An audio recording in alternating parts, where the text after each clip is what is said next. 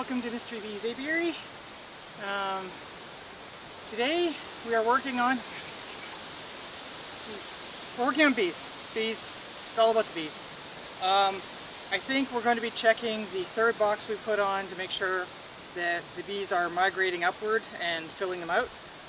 Um, We're trying not to mess with them too much today. we're trying not to mess with them too much today. If we have time, we might do a hive of the week and actually go digging down into one of the hives to take a close look at it with like some photos from our cell phones or so. And she forgot the pollen patties. So um, this uh, this will continue in a few moments. Stand by.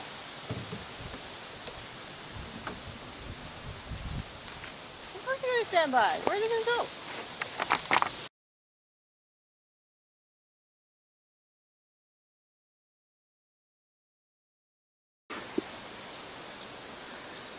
Okay. Go ahead. All right. Welcome, boys and girls, to Cooking with Bees. Those are the bees, and I'm the one cooking. Whew.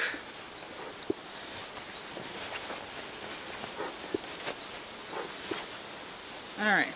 So today our grand plan is to just check in, peek, see if they've uh, come up to the third level. And if they have not, we're going to grab a brood frame, suck it up, put it in here. The brood will hatch out and uh, everything will be serene. Okay. So um, I just saw a bee playing peekaboo at the top.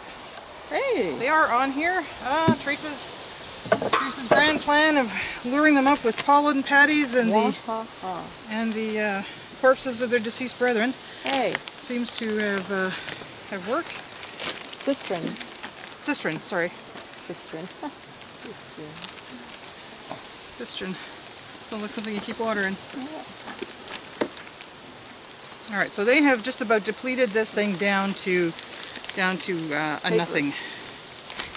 So I'm going to uh, use it over here and check out the patties that they were working on. Yes, there is a. Okay, they, they like this one. All right.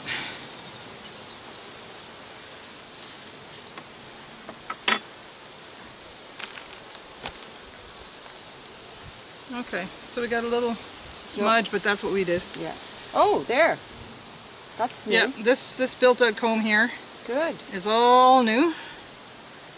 And uh, I know it seemed weird that we were, you know, jumping the gun so early to uh, to slap the honey frames on it, but you know what? If we don't,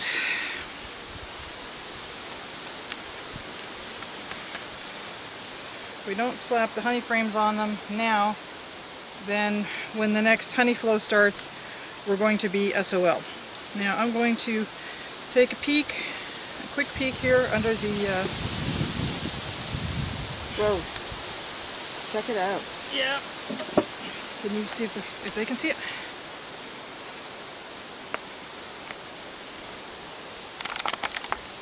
They cannot. They cannot. You have it too high. All right.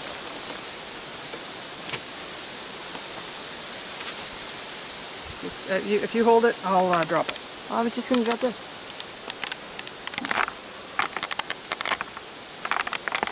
Oh Alright. yeah, there we go. That's much better. All right. So this is the queen excluder. Uh, we have bees thriving and bumping along underneath here. So I'm going to just check to see if we have brood.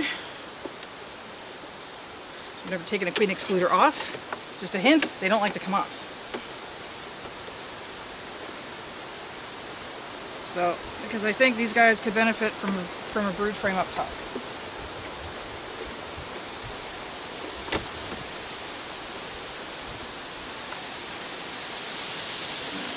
So,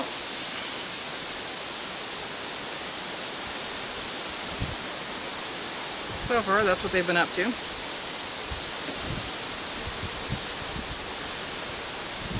Yeah, to check. Oops, cool and empty if I can.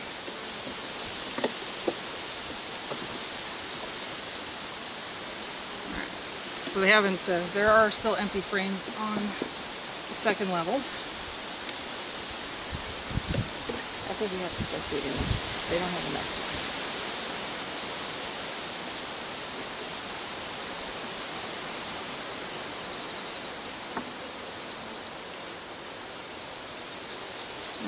Looking for is I am looking for a frame with babies on it.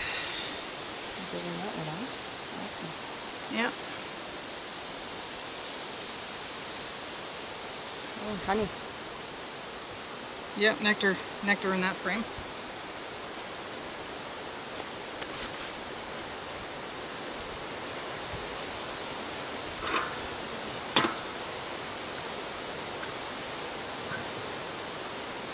And notice how I haven't had to use the uh, smoke yet. I'm moving slowly, I'm moving gently, and the best part is these bees are freaking busy. We had a very, very heavy rain last night.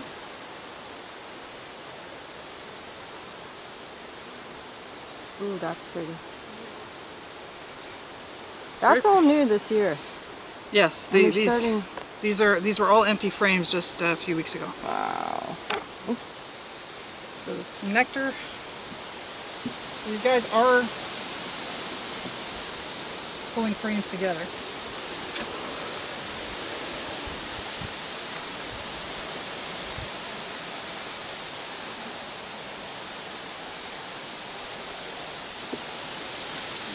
So, what I'm trying to do is I'm trying to see if the entire hive body here, sorry for doing this in shadows with my arm obscuring, but you really need a good grip when it weighs this much. So this is was a brood frame that that they are now storing with honey. Yeah. Okay, so this some brood, This is one that we could pull to the second level. And there's brood frame, I think. Yeah. Is- uh, maybe not. Maybe that's kept. I can't see from here. I will find out in a moment. All right, this is where the problem lies. With gloves.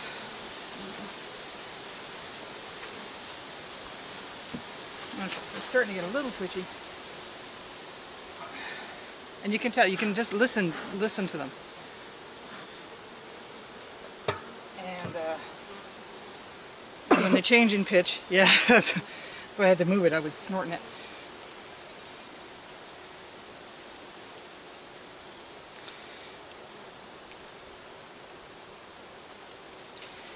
All right.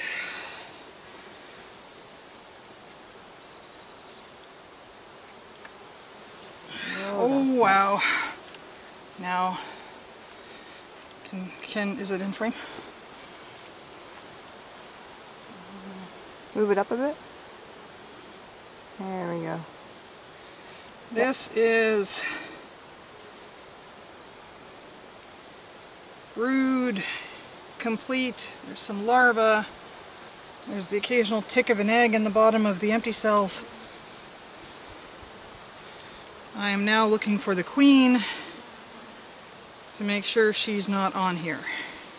We've got larva on the bottom there that we just ripped open. It happens.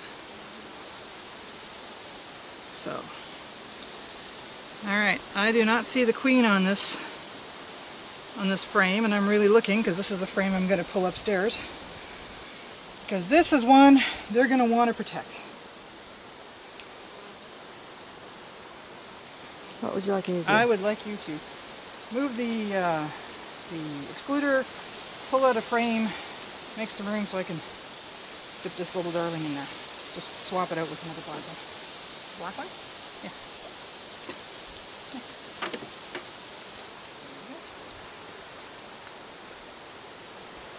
Okay. We'll just do a triple check here that we don't see our queen.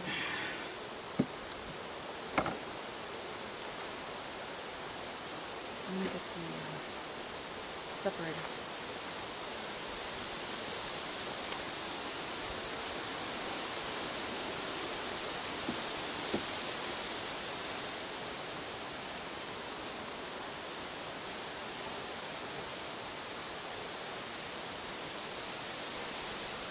Now what happens when you do this is that you're uh, forcing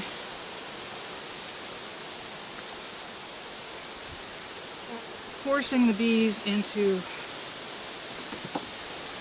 a position where they have to uh, climb up and take care of the brood. They have to keep it warm at night. It needs to be a sufficient temperature to allow them to, uh, to hatch. So the bees will smell the, uh, the brood and they will rush upstairs to take care of it.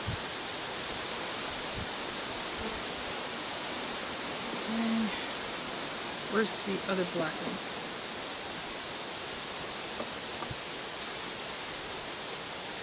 And when they do rush upstairs to take care of it, they will draw out comb because that is how they roll. Okay.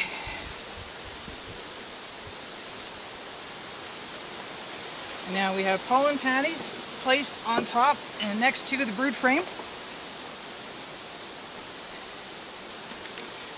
Um, little fella, little ladies will need uh, will need pollen when they come out. So their nurses will tend to them and provide them with what they need. And in the meantime, they'll do some crocheting next door. Or some light architectural work.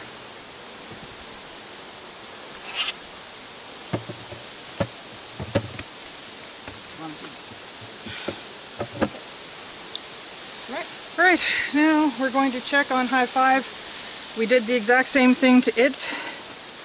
And uh, Actually, I think hive five is we did pull a review frame up already last time. that's what I mean. We Oh, did the okay. exact same thing as we just did here. Okay. So we're just gonna scooch over there Let's see how they do. and see what's what. If they're at the if they're if they're at the top of the frame or at the top of the box, we're going to um,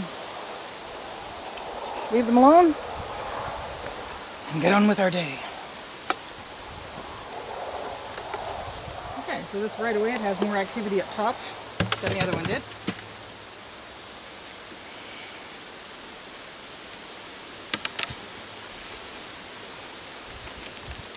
Yep, they're good. Do you need another pollen pattern for that? Uh, yeah, they've almost depleted this one.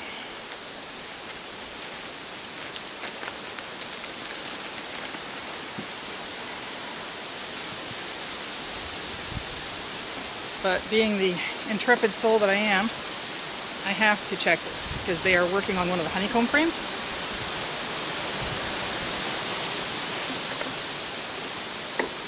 Now,